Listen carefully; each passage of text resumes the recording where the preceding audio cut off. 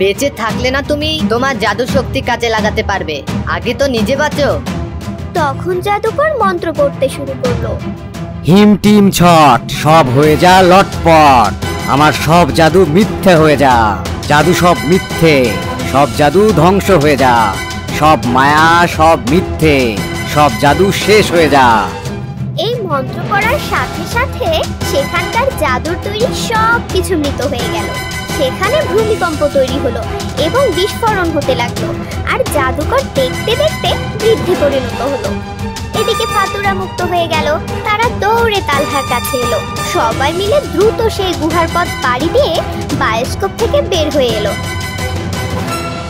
আর সাথে সাথে সে বায়োস্কোপটাও ধ্বংস হয়ে গেল।